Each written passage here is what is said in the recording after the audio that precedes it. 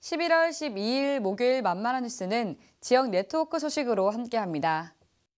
코로나로 힘들어하는 주민들을 위해 의정부시 밀락 지역 임대아파트 단지의 봉사단이 야심차게 나섰습니다.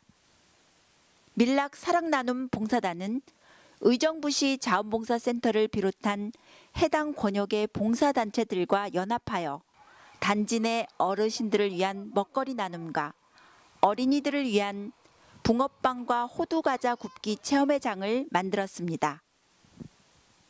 네, 안녕하세요, 여러분. 오늘 우리 의정부에서 2020년 주민제한 공모 사업으로 저희들이 진행하는 비대면 공동체 활동인데 오늘 여러분들이 많이 함께 해주셔가지고 주민분들도 너무 좋아하시고 우리가 이 사업이 앞으로 우리 주민들에게 그리고 우리 의정부시가 정말 행복 특별시로 거듭났으면 좋겠습니다.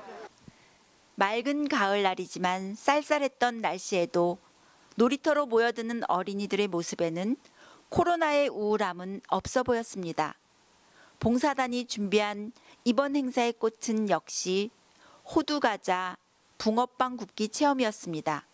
놀이터에서 놀다가 체험에 참여한 어린이들이 줄을 서서 붕어빵 굽기 체험을 기다리며 구워진 따끈따끈한 빵을 받아들고 행복해하는 모습을 볼 수 있었습니다. 밀락 사랑 나눔 봉사단은 단지 내에서 일어나고 있는 세대층 간 소음 갈등, 실내 흡연으로 인한 갈등 등 주민 간 갈등 문제를 해결하기 위한 방안으로 어울림으로 더 행복해질 수 있는 단지를 만들기 위한 꾸준한 노력을 통해 협업하는 다양한 봉사단을 유치해 나눔으로 더 행복한 어르신, 더 행복한 어린이들의 삶의 공간으로 만들어가는데 앞장서고 있습니다. 복지TV 뉴스 정은선입니다.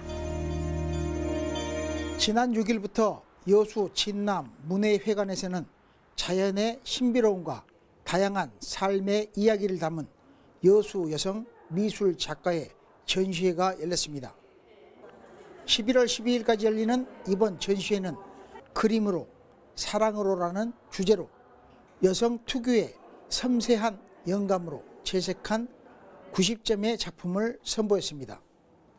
여수 진남 문해회관 제1, 제2 전시실에서 전시되고 있는 작품들은 지역 작가 33명이 참여해 여성 화가들만의 독특하고 부드러운 터치로 꽃과 풍경, 추상, 켈리, 도예 등 다양한 장르의 작품을 담아냈습니다.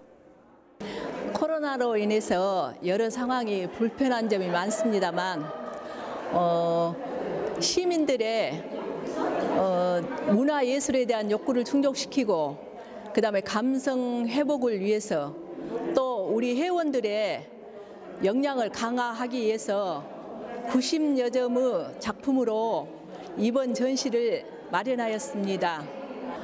어, 많은 시민들이 오셔서 관람하시고 작품을 통해서 잠시나마 숨을 고르시고 정서 함양에 도움이 되셨으면 하는 바람입니다.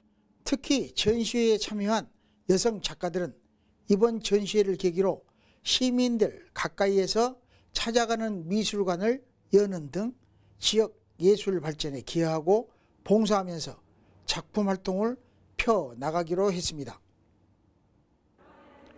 따뜻한 마음과 섬세한 손길로 저마다 아름다운 향기를 담아낸 이번 작품들은 지친 마음을 휴식과 감성으로 가득 채워주고 있습니다. 복지TV 뉴스 이영춘입니다. 이 밖에 자세한 사항은 웰페어 뉴스 홈페이지와 장애인신문, 복지TV 뉴스를 통해 확인할 수 있습니다.